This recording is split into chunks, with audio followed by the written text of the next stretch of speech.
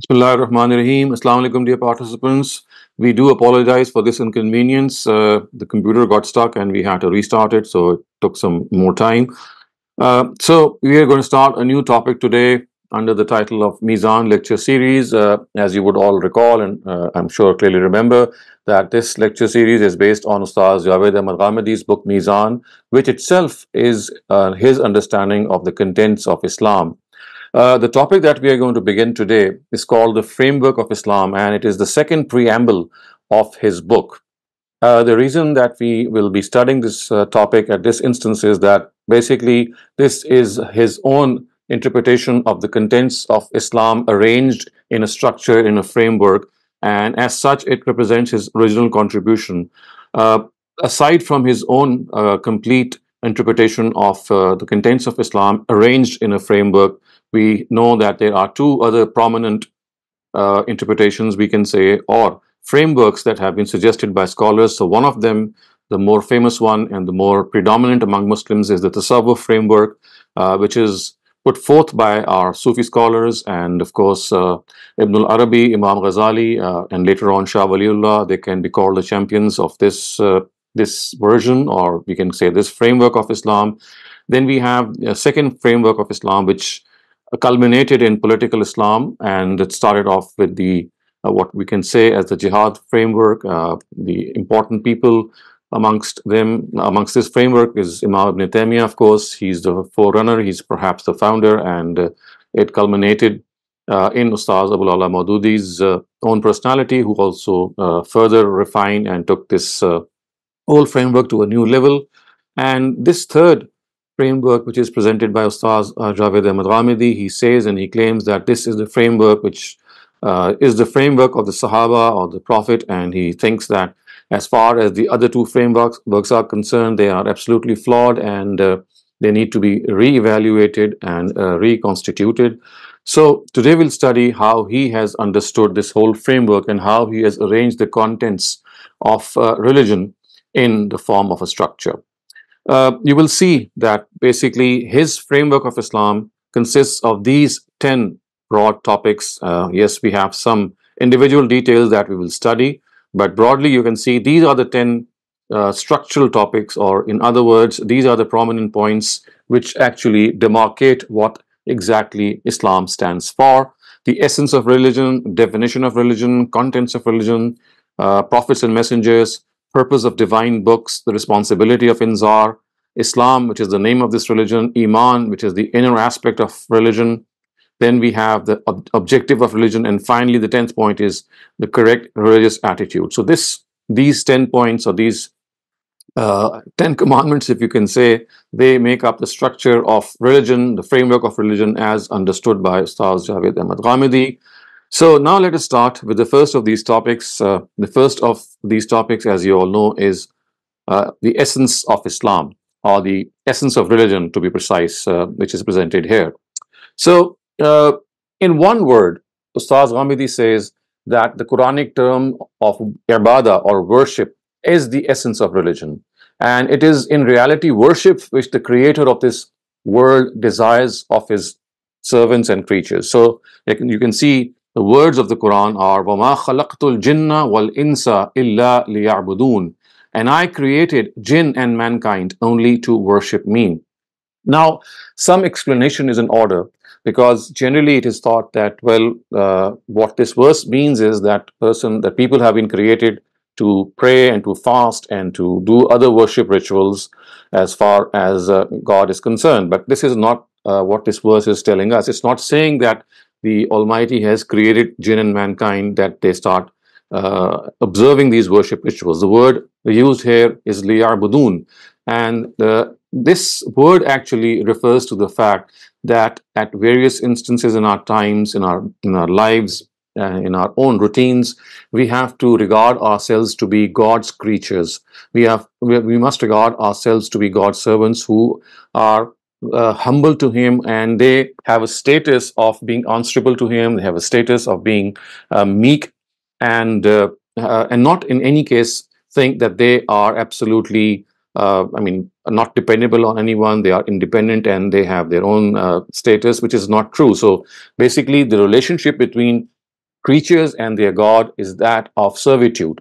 So, if one word that can, in essence, describe our relationship with the Almighty, which is also the essence of religion, it's servitude, which means that we have to realize that God has created us as as people who are going to serve his cause, as people who must not override this service, who must never think that they are individuals who are in charge of affairs, but basically they have to acknowledge the greatness of the Almighty, the exaltedness of the Almighty, and their own meekness and civility.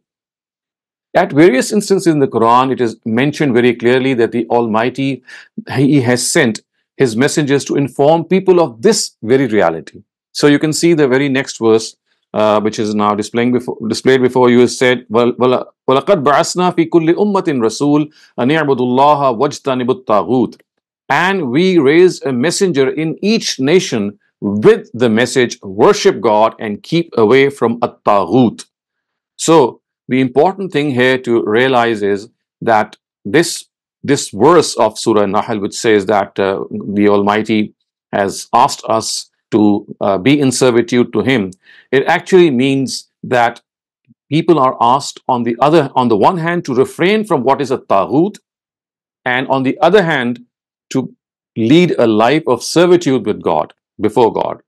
Now, a taghut and a shaitan are used synonymously in the Quran. They refer to someone who is arrogant and rebellious before the Almighty, and the ob- opposite of this obviously is humility and modesty.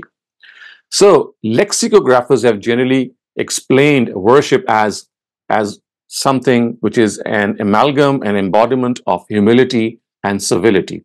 And the words they generally use are aslul abudiya, al khuzu wa tazallul. Aslul abudiya, al khuzu wa tazallul, which means that the essence of worship or the foundation of worship is humility and civility.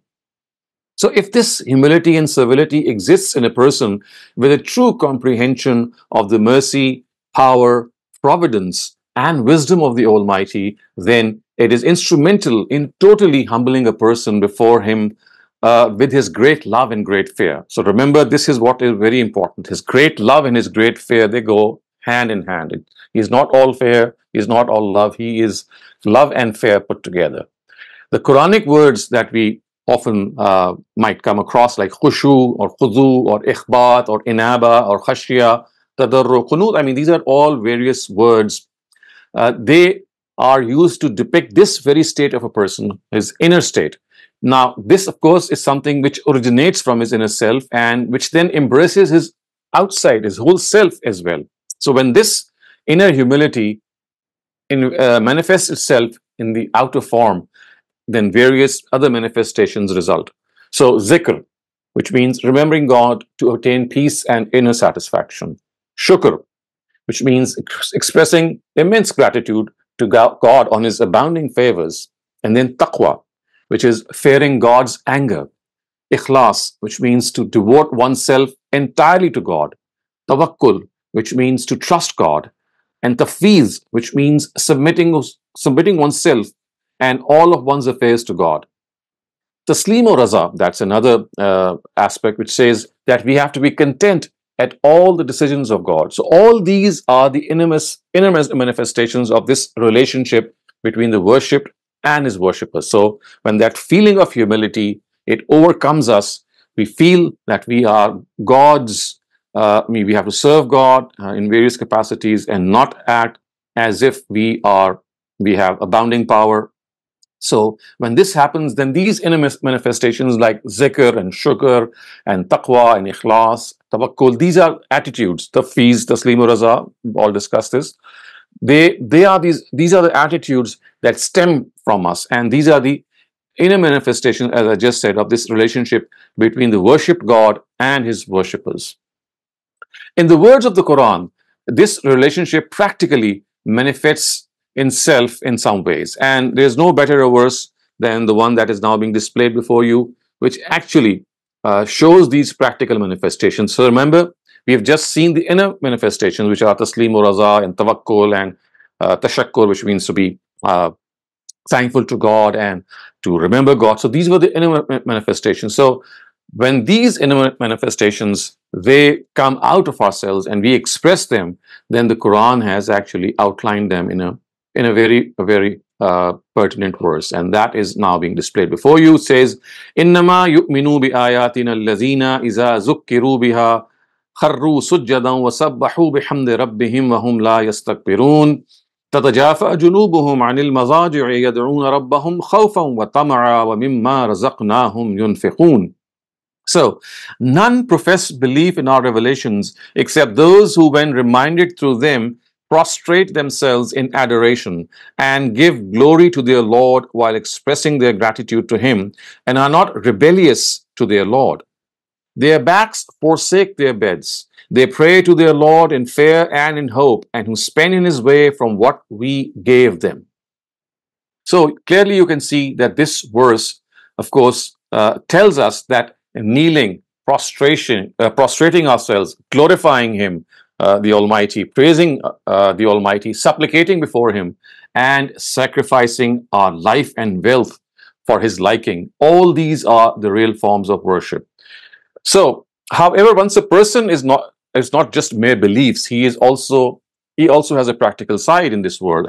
So, when this worship actually relates to this practical life as well, and in this manner becomes inclusive of obedience.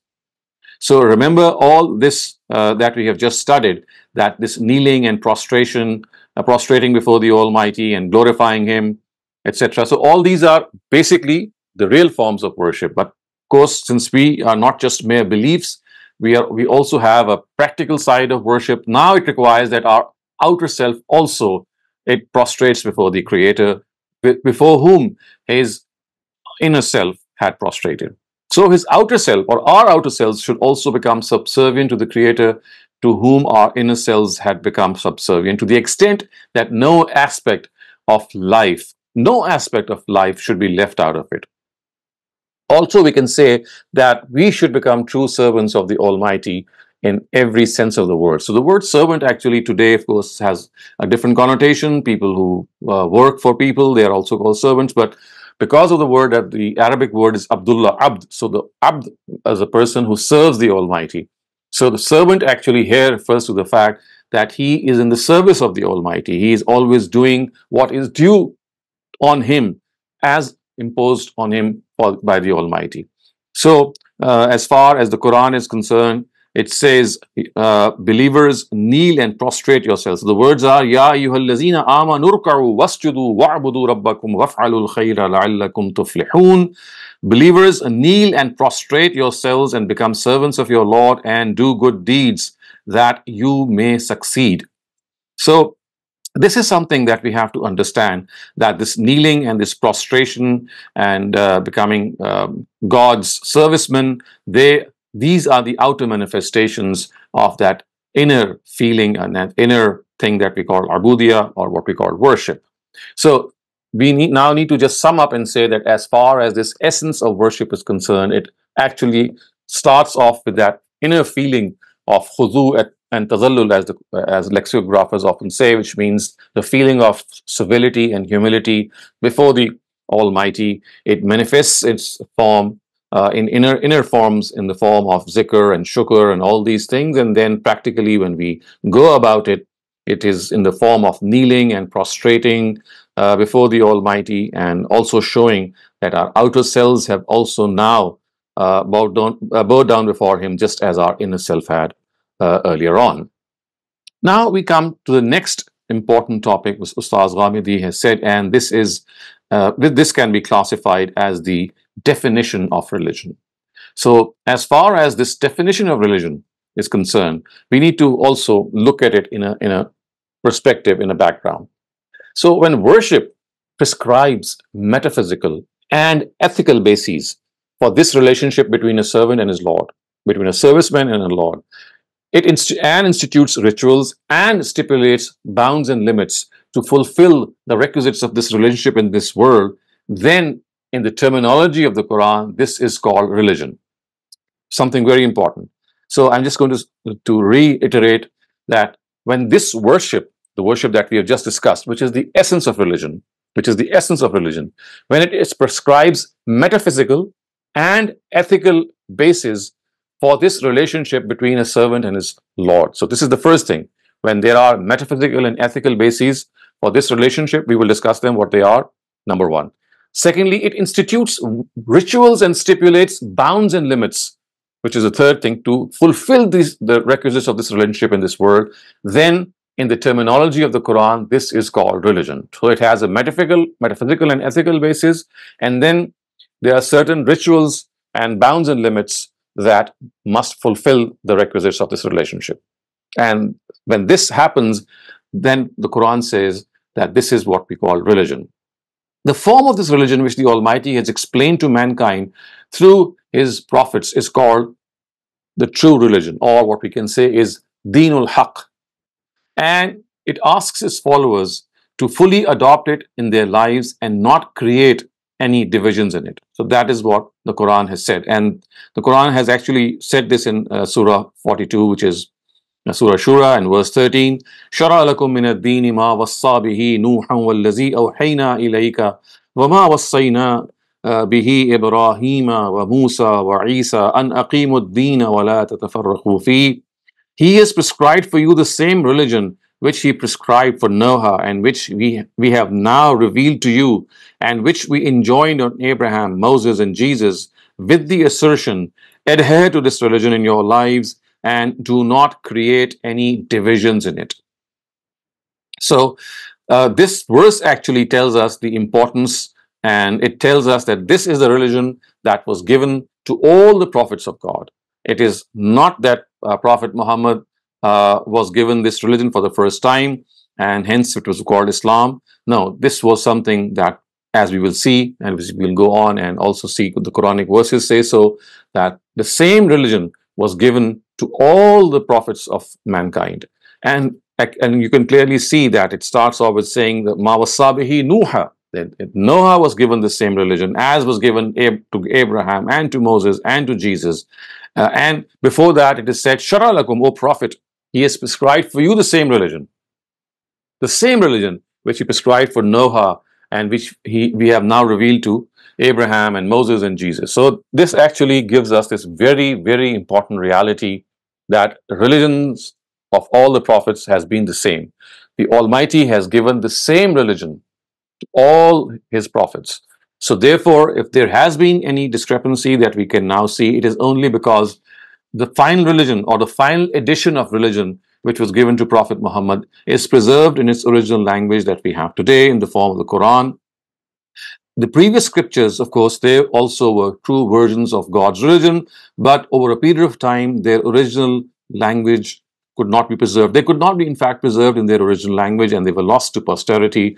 But when the institution of prophethood was to be terminated, the Almighty sent his final prophet with this final book and also he made an arrangement that this final book should be preserved so that no more corruption, no more interpolation, or no more deviation can result.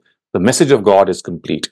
So this also tells us that as far as previous books are concerned, they also are God's representations of religion. The only thing is that we don't have them in their original language, so they must be read, but read in the light of the Quran and wherever there is a discrepancy between them and the Quran, then the Quran will prevail over them. But at the same time, if you have practically read the previous scriptures, you'll find that a, quite a large part of these scriptures is in conformity with the Quran and hence it is highly advisable that we keep consulting uh, these previous scriptures and as we go along, we will find uh, that this is such an important uh, area of Quranic studies that a person who studies the Quran without recourse to the previous scriptures, his study would be bereft of many, many important realities. So the next thing that we will now study uh, regarding the framework of Islam is the content or the contents of religion uh, that we can say. So, uh, so the metaphysical and ethical basis of this worship have been prescribed by religion as al-hikmah. So remember we just said that this religion has metaphysical and ethical basis. So, of, of, and that is what we call al-hikmah. And it also stipulates certain rules and laws that we will just see. But as far as these metaphysical and ethical bases are concerned, they are called al-hikmah. And the rituals and the, and the bounds and limits which we just discussed. Remember that worship, that is the inner aspect of religion, the essence of religion. It when it prescribes certain boundaries which are uh, rituals which connect us to God and limits, then what happens is that there is a whole uh, set of laws that come into being, and that is what is called Al Kitab by the Quran. So remember, Al Hikmah are the metaphysical and ethical basis of this worship, and Al Kitab are the rituals and the bounds and limits which are prescribed by religion. And the Quran has actually put them forth in various verses. For example, you can see وأنزل الله عليك الكتاب والحكمة وعلمك ما لم تكن تعلم وكان فضل الله عليك عظيما And God has revealed to you Al-Kitab and Al-Hikmah and in this manner taught you what you did not know before. And great is God's favor upon you. And great is God's favor upon you. So, as you can clearly see, uh, Anzalallahu alayka al-kitaba wal-hikmah. So, al-kitab and al-hikmah basically they constitute two parts of religion. So in other words, we can say the religion which has been given to all prophets of God had two, two sections. So one of them is al-hikmah, which of course relates to the metaphysical and ethical basis of religion, which of course is called morality. And the other is the laws and the rituals as well as the limits. So that is called al-kitab. So al-kitab and al-hikmah. In other words, in, in which this exactly the same content is reflected is also Yes, now you can see before you it says وَاذْكُرُوا نِعْمَةَ اللَّهِ عَلَيْكُمْ وَمَا أَنزَلَ عَلَيْكُمْ مِنَ الْكِتَابِ وَالْحِكْمَةِ يَعِزُكُمْ بِهِ وَاتَّقُوا اللَّهَ وَاعْلَمُوا أَنَّ اللَّهَ بِكُلِّ شَيْءٍ عَلِيمٌ and remember the favors he has bestowed upon you and the Al-Kitab and Al-Hikmah which he has revealed to you of which he instructs you and keep fearing Allah and know that he has knowledge of all things. Now, the Quran also refers to Al-Kitab as a Sharia. So remember, Al-Hikmah has the same name. I mean, it is called Al-Hikmah. It has just one name. The word Al-Kitab has has actually two names. So it has it is, has a synonym which is called a Sharia. And this is also something which is the Quran, which the Quran has uh, pointed out. So it says, "Summa ja'alnaka ala shariyatim min al-amr fattabi'ha wa la tattabi' ahwa al-lazina la ya'lamun."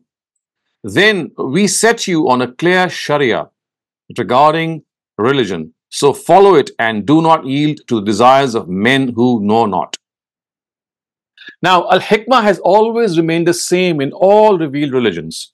However, the Sharia has remained different due to evolution and change in human civilizations and society. Now, this is a point that you must understand very clearly and grasp it that so we have two divisions of religion we have two parts of religion. One is al-hikmah, the other is al-sharia or al-kitab. So al-sharia and al-kitab are the same.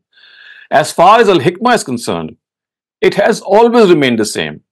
There is no change in all the religions. So in Judaism, in Christianity, as they were later came to be, as Islam later came to be called in, the, in, in their times, in, in this regard, al-hikmah has always remained the same. But the sharia has, has changed it has evolved because of a change in human society. So we know earlier on there were agrarian societies, there were hunters and gatherers, there were people who depended on uh, various uh, other forms of societies, and, and, later on we can see how uh, rural societies were formed, and then urbanization occurred. So all these changes occurred in so many thousands of years, but there was a change keep, uh, keeping in view the nature of these societies in the laws that were given. And it was because of this that the Quran has said, لِكُلٍّ جَعَلْنَا مِنْكُمْ شِرْعَةً وَمِنْهَاجًا وَلَوْ شَاءَ اللَّهُ لَجَعَلَكُمْ أُمَّةً وَاحِدًا We have ordained a law and assigned a path for each of you. Had God pleased, He could have made of you one community. So, a study of divine scriptures shows that the Sharia constitutes the major portion of the Torah, and the Hikmah generally constitutes the Injil. So a very, very interesting point. So religion has two portions. It has two uh, uh, distinct parts. One is Al-Hikmah and one is Al-Sharia. Now, if you look at the revealed scriptures before the Quran, the Torah primarily constitutes the Sharia part. And the Hikmah primarily is something which the Injil is composed of. The Psalms, or as the Quran calls them, Zabur, revealed to uh, David are hymns which glorify the Almighty and are a forerunner to the hikmah of the Injil. Now, this is this is a fact that has to be understood that hikmah is the thing that Jesus had brought forth in Injil, and that is why he has is reported to have said that I have not come to revoke the law, but to complete it. So Torah was left bereft of that wisdom or that hikmah, which of course relates to morals and ethics. So it was that it was because of this that Jesus was sent. And the Psalms, as I just said, were hymns to glorify the Almighty, and they were basically a forerunner to the hikmah of the Injil. Now, finally, you can say that the Quran was revealed as a masterpiece of literature comprising both Sharia and Hikmah, giving warning to those who evade it and glad tidings to those who follow it. The fact that the Quran is a blend of both Sharia and Hikmah is, is mentioned, I mean, in the verses that we have seen earlier on, that it clearly says that, uh, these verses clearly say that it is composed of uh, Al-Hikmah and Sharia. Now, about the Torah and the Injil, about which we just said, that one is composed entirely of law, or a major part of it consists of law, and the other, which is Injil, consists of a major part of it consists of Al-Hikmah. Now, the, this is something which the Quran has specified and said that while narrating with one of the, his dialogues with the Almighty, uh, while narrating one of his dialogues with uh, with Prophet Jesus uh, on the Day of Judgment, the Quran has actually said this: وَعَلَّمْتُكَ الْكِتَابَ وَالْحِكْمَةَ وَالتَّوْرَاةَ وَالْإِنْجِيلَ وَأَلَّمْتُكَ الْكِتَابَ is in fact it is وَإِذْ أَلَّمْتُكَ الْكِتَابَ which means and when I instructed you with the Sharia and the Hikmah that is the Torah and the Injil. So remember this is what God is asking or telling Jesus, is Allam tukal kitaba wal hikmah wal Torah wal Injil. So remember when I instructed you with the Sharia and the hikmah, which is the Torah and the Injil. So we can clearly see that here the Quran itself has categorized the Torah to be the law and the Injil to be the wisdom. So to sum it, we can say that al-hikmah basically consists of two things, faith and ethics. Faith and ethics. Hikmah, philosophy of religion, how we relate ourselves metaphysically and ethically to the Almighty. So that is what is called Al-Hikmah and it comprises of these two subtopics. So remember, once again, Al-Hikmah and Al-Kitab are the two basic contents of religion. And Al-Kitab is also called a Sharia. So within Al-Hikmah, we have two subtopics. And they are faith and ethics, or beliefs and ethics. And as far as Al-Kitab is concerned, it contains or it consists of 10 topics. Al-Kitab and the Sharia are the same. So these are the Sharia of worship rituals, the social Sharia, the political Sharia, the economic Sharia, the Sharia of preaching, the Sharia of jihad, the penal Sharia, the dietary Sharia, Islamic customs and etiquette, oaths and their atonement. And if you recall that we have studied almost all of these topics separately and individually because we have done a major part of the Sharia or the Al-Kitab uh, that is mentioned in Ustad Ghamidi's book. And uh, you would recall that these were the topics. So remember that if you can arrange them, then these are the topics that constitute the law part, the the law part or the Sharia part or the Al-Kitab part. So the important thing once again that we have to uh, understand here is that as far as uh, uh, the Quran is concerned, uh, it tells us that if you are to adhere to religion, then this is as far as the contents of religion are concerned. So one is Al-Hikmah, which consists of faith and, uh, and ethics or, or, or morality and the other is a Sharia or Al-Kitab and it consists of the 10 topics that we just discussed. Now we come to the fourth topic of Ustaz Ghamidi's uh, overall understanding of the framework of Islam and this is what we call the prophets and, his, and messengers. So the envoys of God uh, who brought this religion are called prophets. And a study of the Quran shows that besides being assigned the position of prophethood, which is also called Nabuwa, uh, some of them were assigned the position of messengerhood, which is also called Risala. Once, I would like to once again reiterate that God sent his envoys, his representatives, and they were called prophets or Nabi, or the plural is Ambiya. And another category or another cadre of prophets, a step higher, was the Rasul or the messengers. And they were a category above the prophet, uh, the prophets, uh, we'll just discuss the difference. But these were the two categories and they were sent primarily to guide mankind whenever there was a difference in religion. So, the Quran, of course, is, uh, is, is something which describes this in detail. But let us see what Ustaz Ghamidi has written when he was discussing or defining the terms of Nabuwa and Risala. So he says, prophethood means that a person, after receiving divine guidance or divine revelation, teaches the truth to his addressees and gives glad tidings of a good fate in the hereafter to those who accept the truth and warns those among them who reject it that a bad fate awaits them. In the terminology of the Quran, delivering such glad tidings is called bashara. So bashara is to deliver glad tidings and delivering such warnings is called inzar, which is warning, of course. So basically what a prophet does is that he he gives glad tidings. He tells people that, well, if you are going to follow the truth, then you will be rewarded. And if you're going to not not, not going to do this and you can you stick to your own uh, uh, uh, attitude of vice then you will be uh, you will be uh, taken to task and that is what we, we call our uh, is inzar and this is actually described in the quran in a, in a quranic verse it says kana nasu ummatan wahida fab'atha allahu nabiyyin mubashirin wa munzirin Mankind was once one community, then differences arose between them. So God sent forth prophets as bearers of glad tidings and as warners. So you see, basically, uh, as the Quran has said, that this is something which happened in the history in the course of mankind. When God created Adam, Eve, and the rest of their progeny, they were they were on a, in, on a single religion and they were like one community. So the Quran says, "Kana wahida." But later on, differences surfaced between them. And these were, these were such grave differences that they were not able to resolve them amongst themselves. So God actually took this initiative and he sent messengers, he sent prophets, in fact, who were warners and who were bearers of glad tidings. Mubashirin wa munzirin. So Mubashirin and Munzirin. So this is something that we have to understand that basically this is what is meant by prophethood, that they warn us and they give us glad tidings. Next Ustaz goes on to define what messengerhood is. So remember we just discussed that prophethood is of course a status occupied by prophets of God and messengerhood which is a cadre above prophets. It's like saying that all gods of all of envoys all uh, gods envoys are uh, prophets.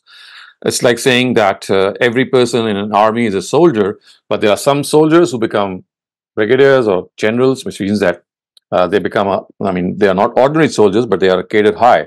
So what we can say is that every soldier is a general, but not uh, is not a general, but every general is a soldier. So in a similar way, we can say that every Rasul is a prophet, but not every prophet becomes a Rasul because that's a higher cadre. So as far as uh, this is concerned, we have to uh, uh, understand that messengerhood means that a person is assigned to people, as I said, such that he decides their fate through divine sanction, so that if they reject him, he practically enforces the sovereignty of the truth upon them by implementing on them God's judgment in this world. So you see, this is a very, very a glaring difference between prophethood and messengerhood. So prophethood or prophets of God, they just delivered God's guiding, uh, God's glad tidings and warnings. But the, a messenger, he takes a step forward on behalf of God. He actually decides the fate of his nation, the nation to which he is assigned in this world.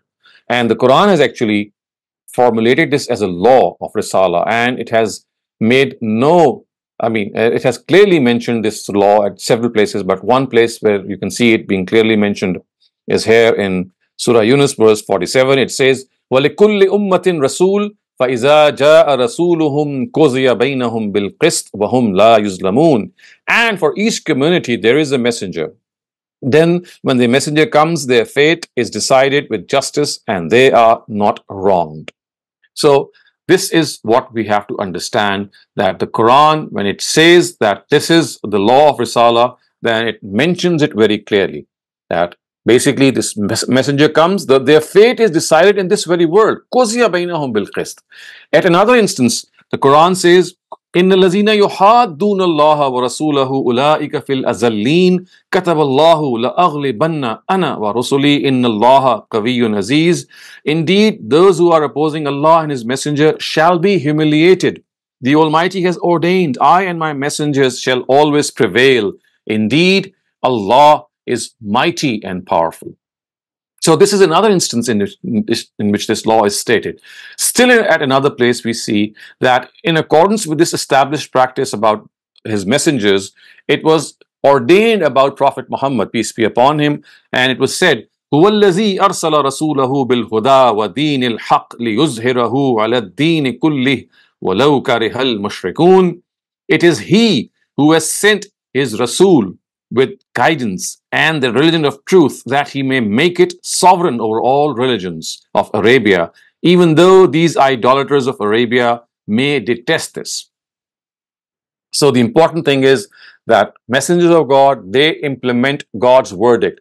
They create or set up God's court of justice on this on the face of this earth. All messengers of God did this. And this was the uh, this was the case with Prophet Muhammad also, who was the final messenger as well. So he also set up a court of justice. And the way this established practice about Risala manifests itself uh, is different. I mean, it, it basically there are different cases, and I'm going to also describe them. So the Almighty selects His messengers so that reward and punishment can be meted out in this world through them before the actual day of judgment. So, in other words, before that greater day of judgment, lesser days of judgment, they are set up in the life of every messenger. It becomes a miniature rehearsal. So every lesser day of judgment becomes a miniature rehearsal of what is going to take place on that day of judgment, on the final day of judgment.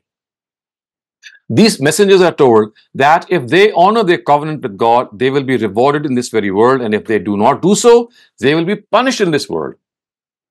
So it's, it's the promise that God has made with the messengers that they have to follow this. And the result is the very existence of these messengers becomes a sign of God. And it is as if their people can observe God walking on earth and these messengers, with these messengers and delivering his verdicts.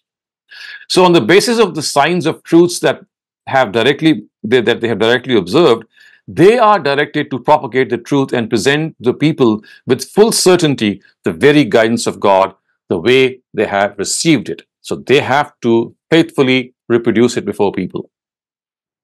And in the terminology of the Quran, this dissemination of the truth, this bearing of witness of the truth before other people of the world or to their assigned addressees is called Shahada. So the word Shahada actually refers to this bearing of witness. And once this is established, it becomes a basis of the judgment of the Almighty both in this world and in that to come.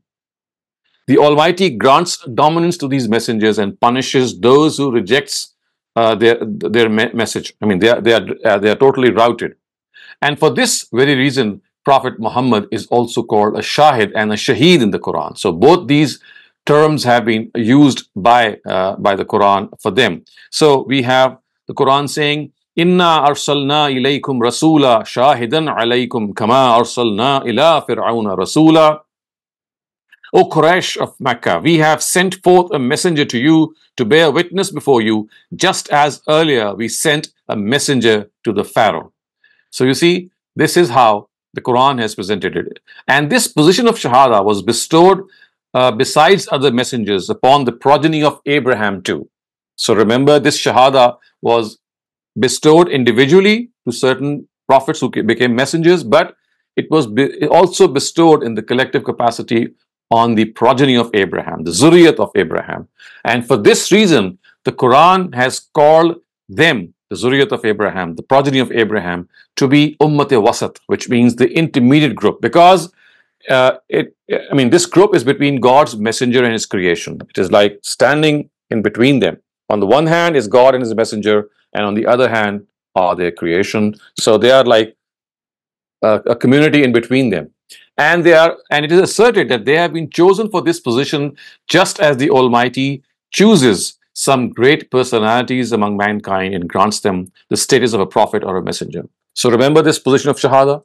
You have to once again understand that it's not only bestowed upon individuals who become Rasuls like Abraham and Noah and Moses and Jesus and Muhammad, but it was also bestowed upon the progeny of Abraham, which we know are composed of the Israelites and the Ishmaelites. That is a detail that we'll be discussing later.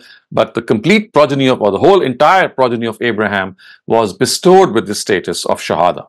And the Quran has actually described this in Surah Hajj in these words وَجَاهِدُوا فِي اللَّهِ حَقَّ جِهَادِهِ هُوَ اجْتَبَاكُمْ وَمَا جَعَلَ عَلَيْكُمْ فِي الدِّينِ مِنْ حَرَجٍ مِلَّةَ أَبِيكُمْ إِبْرَاهِيمَ هُوَ سَمَّاكُمُ الْمُسْلِمِينَ مِنْ قَبْلُ وَفِي هَذَا لِيَكُونَ الرَّسُولُ شَهِيدًا عَلَيْكُمْ وَتَكُونُوا شُهَدَاءَ عَلَى النَّاسِ and struggle for the cause of God in a befitting manner. He has chosen you for this responsibility and laid on you no burdens in the observance of faith. He has chosen you the, the way, uh, he, is a, he has chosen for you the way of Abraham, your father. He named you Muslims earlier and in this period of the last prophet as well. So you see, clearly it seemed that it was chosen in the name Muslim was something that was chosen earlier on, and it is something in this last prophet as well. So it has been always the same. The word Muslim was used for the followers of this religion since the very beginning. So he named you Muslims earlier and in this period of last prophet as well. He had chosen you so that the prophet may bear witness before you and that you yourselves may bear witness to this religion before other people of this world. So uh, I'm going to conclude here uh, with this uh, fourth topic of prophets and messengers with this uh, very important information that these Rasul or these messengers, they decide the fate of their nation in this world. And a lot of uh, uh, verses in which we, there's blood, bloodshed mentioned or a lot of punishments are mentioned for people who are to be punished for their for their denial of the truth people of the book and the idolaters, they relate to this law of Risala, the law of messengerhood, and they do not relate to uh, today's times, which of course is a very, very different, entirely different time. This is the post-prophetic period in which we are living, and in the prophetic period, in the period of God's messengers, this was a law in which the fate of every nation was decided in the lifetime of that messenger. And they constituted, this, this decision, this verdict constituted the, the a rehearsal of the greater day of judgment. So that is why we can also call them miniature days of judgment that were made to happen in the lifetime of every messenger. So inshallah, we'll continue with this topic uh, in our later sessions. But uh, for for now, we are going to conclude here, and uh, I'll also invite you to have to ask any questions that you may have. Thank you very much, Dr. Saleem. Our first question asks, how should we reconciliate the essence of religion being al-ibadah with mm-hmm. another verse in the Quran that says, And verily we created life and death to test who among you does good deeds. You see, that is another thing. Uh, I mean, the verse actually tells us that this world the, the, has been created on the principle of trials and tests and not on the principle of reward and punishment. So the context here is that you're not going to live, if you live a good life, you'll be rewarded in this life for your goodness. And if you live an evil life, then you will be punished for this evil in this world. So that verse is just telling us that what exactly is the nature of life in this world? Is it something in which we will be rewarded immediately for the good that we do? Or is it something else? So the Quran has outlined in that verse that this life is a is basically a place of test in which God has made us pass through various trials and the ultimate verdict will be given in the hereafter not in this world, in the hereafter. So that verse is basically describing the pattern of events in this world. Whereas this verse that we just studied uh, actually tells us what basically is the essence of religion, which means that we have to consider ourselves to be humble servicemen of God and not become arrogant and not become uh, independent creatures, so to speak, as Satan became in his own times and his progeny as well. So basically, it it just tells us the place that from where we should behave. Our behavior should be as humble, down to earth people and not someone who are who are arrogant and not someone who are haughty. Thank you very much, Dr. Saleem.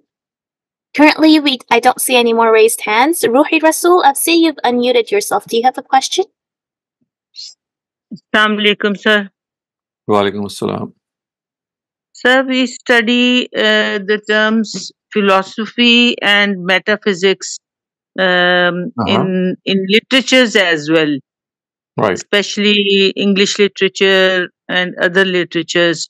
How in uh, Quranic philosophy and metaphysics uh, are they different? uh, how so, can we differentiate between them? So you see, metaphysics is something that we call beyond physics, or which is something in which you are connected to a realm which is beyond this world. So physics basically are, is something which uh, which governs or which consists of the laws of this natural world. And metaphysics is something which is beyond this natural world, which is the realm in which we are connected to God, in which we have a certain connection with God. So metaphysics, when we talk about metaphysics uh, in, in, in religion, we actually refer to how we are connected to God on the basis of our relationship uh, of being uh, in connection with him either through our behaviors or through our attitude. So that behavior and that attitude is something uh, which when it relates to this world, it becomes the Sharia. And I mean, or, or it becomes something which relates to the to our own human beings in this in this horizontal plane. But when we connect ourselves vertically to a being with whom we have to have some some some connection which is beyond this this world, which which which crosses the boundaries of this world, that is where the Quran, or what we can make you understand by saying is that this is what we call the metaphysical and the ethical basis. In other words, uh, your your belief system, uh, if, I can boil it down, your belief system and your moral system. These are the two things which are represented by the metaphysical part that we just discussed. Beliefs and morality. Beliefs and morality. Because you see, belief is something that connects you with God at a plane in which you are, I mean, going beyond this world. Similarly, morality is something which connects you with God, in which you are crossing this world and making this effort that, well, this is how God has made us uh, connected to Him, that we have to be morally upright, not only before God, but to other peoples as well. Abdurrahman, you're up next. Please go ahead. Assalamualaikum, sir. Walaikum. Sir, um, uh, you mentioned about the term service, right? Uh, can you mm-hmm. please uh, explain in a little more detail what mm-hmm. what is meant by service? Because when we hear the word service, we mm-hmm. think it is kind of a job or something that we have to mm. do following uh-huh. things. Of course not. And we so will see, get paid here or something yeah. like that. I mean, that is just a, that because of the lack of a better word, uh, because generally the word abd or abudia is translated in the English language as serv- serv- servants of God. So Abdullah is uh, generally sent, uh, uh, generally translated as uh, as a servant of God. So that gives a different picture.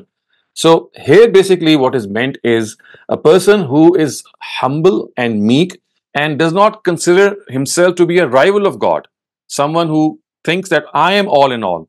He acknowledges his place as a person who is humble and meek before the Almighty. So, this is what is meant here that you must recognize what your position is. You are not an independent person who is like self created or you have you can do anything that you want. But the thing is that you must recognize that you are God's creation. You have a very limited limited power and strength. You must acknowledge that there is someone else who has the ultimate power and strength. So, in other words, it keeps us in our place by telling us that our, our purpose of creation, uh, of course, is that we must understand that we are creature, we are creatures who have been created, and therefore we must understand our limitations and must not cross those limitations to become arrogant as Satan became. So remember, we studied this verse earlier on that we have to be humble and we must forsake taghut. So that is the opposite of uh, of uh, being humble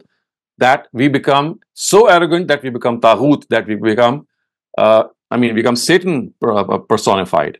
So basically, when it is said that you have to be servants of God or you be into in service, it basically tells us that our connection with God or our relationship with God is someone or are people that we must realize that we have our limitations, we are humble, we have we cannot cross those limits, and there is another being to whom we are answerable to, who has created us, and who is who has the status of being called the Almighty. So basically, this verse is meant to describe us or describe to us that we must keep ourselves in check and in the position that we've been created. We are not all in all. God is all in all. But we, we try to become, when we try to become all in all, we become Taghut. And that is what we should not become. So basically, uh, Ubudiya is the opposite of Taghut, as we have just studied. So if we are able to understand this, that it, this verse is meant to tell us our position. Uh, it cuts us to size, so to speak, and it, it describes us what we should be like. Not become arrogant, not think that we have the absolute and the final word, but be in that humble position that we are creatures of God. Sir, can I can I ask a follow up on that? Yes, sure. Uh, sir, uh, usually it's said that arrogance is looking down on others. So mm. in here, the person is not competing and gets caught, right? Maybe somebody scammed him and he is looking down on that person, and he has a valid mm. reason to look down on that person. So he is still, uh, I mean, would he be still considered no, arrogant? I mean, you see, when you rise against God, I mean, we are talking about that uh, that rebelliousness or the, the level of taghut in which you are become a rival of God, in which, I mean, like, for example, people start creating God's rivals, which is the biggest thing that you can do, that you create his, his peers. You say that, well, we have other deities as well. So this is one of the, I mean, this is the ultimate form of arrogance in which you uh, create God's peers. But the arrogance that you're talking about is something which actually is some is like a mutual behavior between human beings. So no, here it, the, the stress is against God that you have to realize that okay. God has created you as subservient, as individuals who have their limitations, and you must not, not rise against God. You must not present yourselves to be people as if they have you have control of everything. Okay, sir, understood. Thank you. Thank you very much. Bisma, please go ahead. Assalamualaikum, Dr. Saleem. Uh, so my question is, is the progeny of uh, uh, Hazrat Ibrahim just his direct descendants or all Muslims? No, his, his direct descendants. So the, remember, they are they are two: the Israelites and the Ishmaelites. So Abraham had two sons, Isaac right. and Ishmael. So their descendants are his progeny. So we know from history that the Israelites were given this position of uh, of Shahada first. When they did not fulfill it, they were deposed, and then the Ishmaelites were given this position when Prophet Muhammad was born or he was uh, called to prophethood. So, if there are any descendants still left of them, direct yes, descendants, it's their responsibility, not not the entire Muslim race. Is that how it is? It is their responsibility, but the the other people are required to join them in the primarily it's their responsibility because it is the progeny of Abraham who were given this uh, responsibility. But people from other I mean, uh, you can say lineages, they, they, when they accept uh, faith, then they become part of them. It is like they become, they reinforce them. So primarily it's their responsibility, but we, other people get included in that. So in other words, what we can say is that if they are not fulfilling the responsibility and the rest of them are ready to do that, so they'll not be held answerable. But if they are there and still other people are not doing that, then they will be held answerable. Oh, can I ask another question? Do we have time? Yes, please. Uh, so when, uh, from what I understood, um, Muslim was a term that was to be used for believers from the beginning. So how did right. the Yehudi become Yehudi and the Christians become Christians? So that is what the Quran has pointed out. That God gave this name uh, in the time of Abraham to his followers, and instead of accepting it, uh, this name, they they actually uh, became the followers of their religion, and we know that uh, earlier on, for example, the Christians were never called the Christians, they were called the Nazarenes. So, and Jesus of Nazareth actually presented to them the teachings of Islam. And uh, uh, I mean, the scriptures don't fully reflect the word Islam, but uh, I'm sure there were parts of it that have been expunged or they have not been preserved, in which this word would have been clearly written there. So it was much later that these followers became uh, Jews and Christians or the followers of a particular sect. Otherwise, uh, I mean, in their own times, Judaism was Islam per se. I mean, what I'm saying is that if you extrapolate Judaism back to the times of Moses and uh, Christianity right. back to the times of Jesus, then uh, whatever Moses brought to them and whatever Jesus brought to them was nothing but Islam. We don't. Do we know what Judaism means? Yehuda means? No, of course, don't. Yehuda was the, the was the son of, of, of one of the sons of oh, Jacob. right. They're, they're, okay, Yehuda, that's right. Israel. Right. One of the sons of Jacob. Thank you. Thank yeah. you. Thank you so much, Dr. Singh.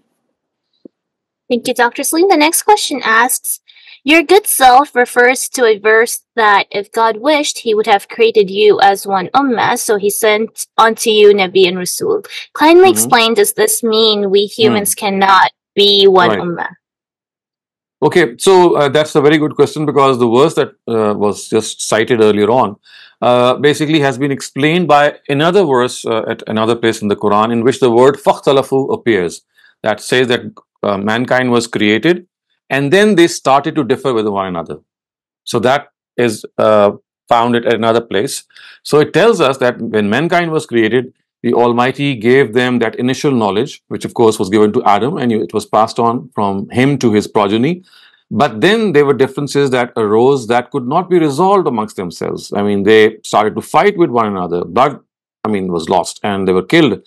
So now God thought that uh, messengers and prophets, just as Adam was a messenger, uh, was a prophet, so a further envoy, his, his representative is needed because the nature of the, those differences had become so pronounced that now individually people would not have been able to settle them. And uh, exactly what happened or what was the what was the nature of those differences we don't uh, we don't have details. But we do have details of what happened later on. For example earlier on when moses was given the book so we know how the jews of those times later on became divided amongst themselves. And those divisions were multiple, one after the other. And then Jesus was sent to actually, I mean, once again, regroup them and tell them that, well, they have been not discharging their duties properly. And at the same time, they have, uh, they have also uh, created divisions among themselves.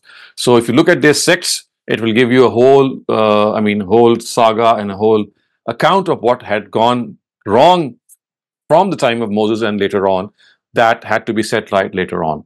Similar was the case with Jesus. If you look at the followers of Jesus, they split up into various uh, groups and sects, and they became involved in such great controversies. For example, that Jesus is regarded to be the Son of God, that the Holy Trinity was invented, that people could not resolve this amongst themselves. So the Quran was revealed as the final book in which it had to pronounce from God that there is no such thing as Trinity and that God is one. So these were the major differences that we can think, I mean, that are before us that I can tell you. But if you ask me that what happened in the time of Adam uh, or later on that that actually occasioned that uh, God's prophets and messengers can be sent, we don't have those details. But what we can see or what we can imagine is that there must have been very grave differences, like, for example, Trinity that we know of, like, for example, the calf worship incident that was mentioned in the times of Moses and other things that uh, that had to need that were for, for whose uh, reformation God's interference was necessary, and He interferes through His messengers. Thank you, Dr. Saleem. Sania Amir, you're up next. Please go ahead. Hello, Assalamu alaikum wa rahmatullahi wa barakatuhu. Uh, sir, you have uh, said that um, uh, the religion has two parts. One is uh, Al Kitab and one is Al Hikmah.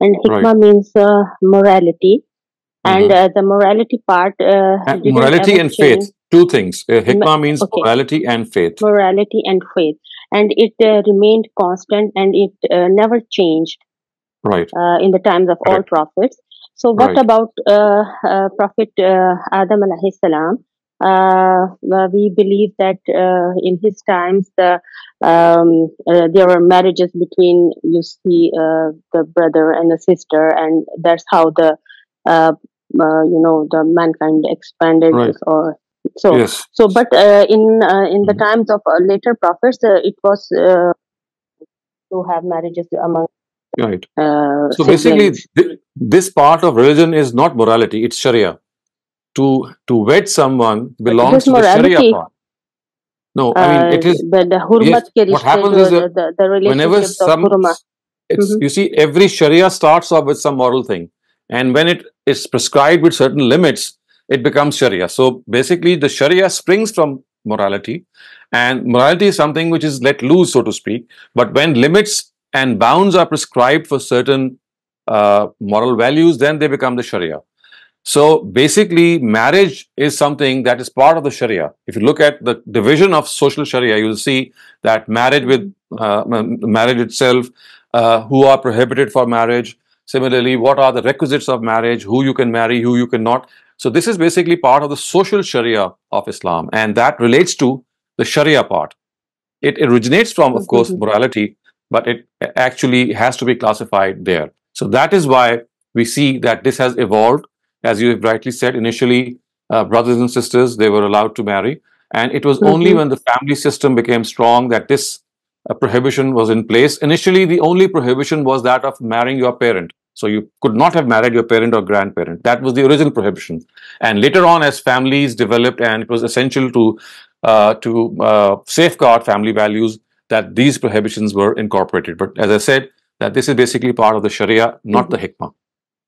Because incest uh, is considered to be a part of morality. It is very immoral uh, so now, that is what I'm saying. That yeah. incest is something that, in, in its nature, is called uh, uh, something which is immoral. So, as I said, every Sharia mm-hmm. originates from morality, but when it is mm-hmm. when it prescribes certain limits.